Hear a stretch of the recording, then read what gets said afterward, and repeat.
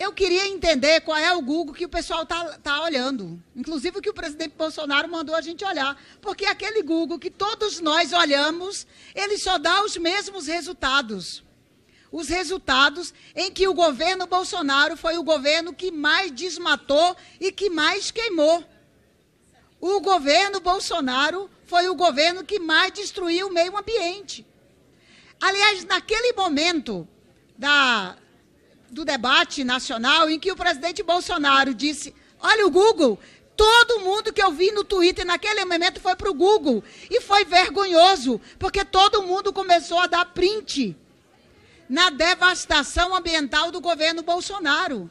Então, é vergonhoso como o presidente Bolsonaro mente e mente descaradamente. Será que naquela hora que ele está mentindo, ele não consegue imaginar que as pessoas vão mesmo para o Google e olhar? E fizeram isso, deram um print nos dados. E lá ficou mostrado todos os dados. Aliás, o presidente Bolsonaro pediu foi a demissão do presidente do INPE, porque não queria mais que se divulgasse os dados e os números, que são muito negativos os números. Aliás, vários países do mundo que a, a, apoiam projetos ambientais no Brasil se recusam a fazê-lo por conta do comportamento do presidente Bolsonaro, que destrói o meio ambiente brasileiro. E aí a gente vai ficar aqui ouvindo a base do governo dizer exatamente que o governo, olha, o governo quer aprovar essa proposta, mas a gente quer discutir, a gente é a favor do meio ambiente. Mentira, não são.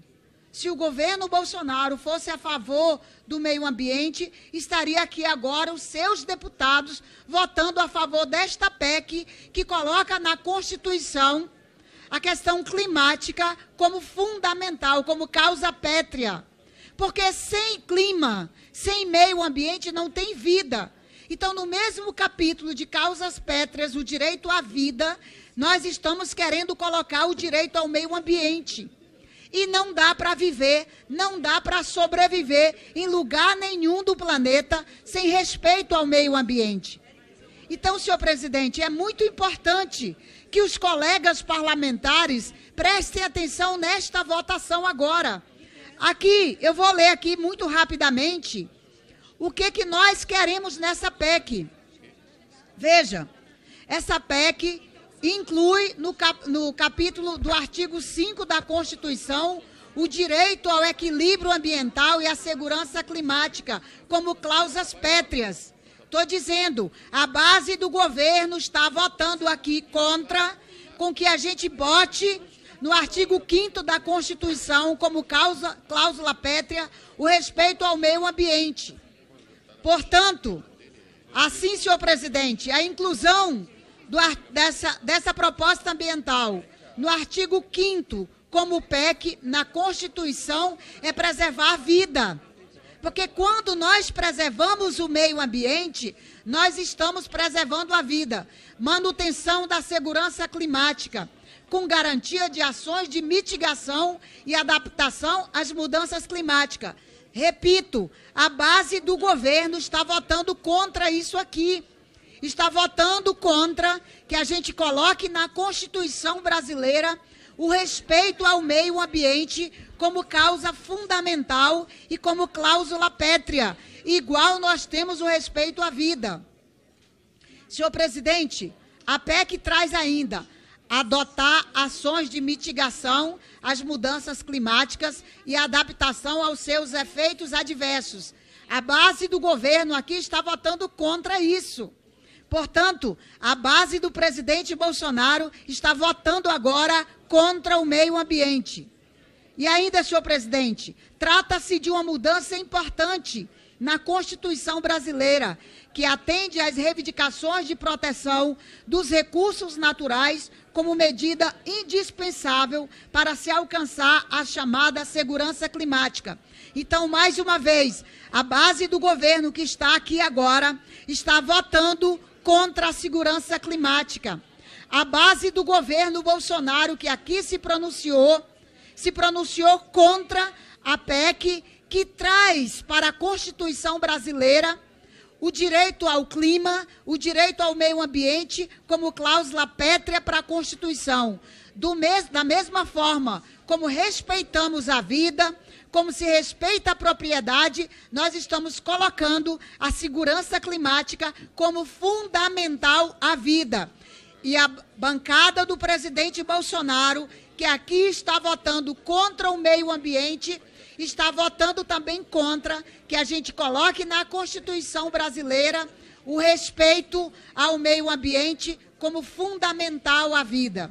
Senhor presidente, depois desta votação aqui, depois desta votação aqui, em que a base do governo Bolsonaro toda está se colocando contra o meio ambiente, contra a proteção ambiental, contra as nossas ações para mitigar os efeitos da mudança climática, quando todos os deputados e as deputadas do governo votam aqui contra que se tenha alternativas para mitigar o prejuízo que tem sido a devastação ambiental causada pelo governo Bolsonaro, eles não têm mais moral depois de dizer em lugar nenhum que o Bolsonaro ou qualquer um desses deputados seja a favor do meio ambiente porque os números provam o contrário. O comportamento do presidente Bolsonaro prova o contrário.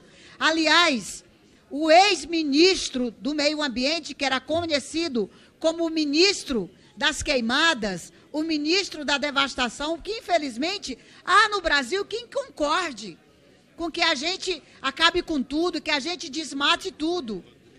Há uma das fotos que rodou o mundo inteiro foi o ministro do Meio Ambiente do presidente Bolsonaro pousando em cima de toras de madeiras que foram retiradas de forma ilegal das comunidades indígenas e das, e das áreas de proteção ambiental.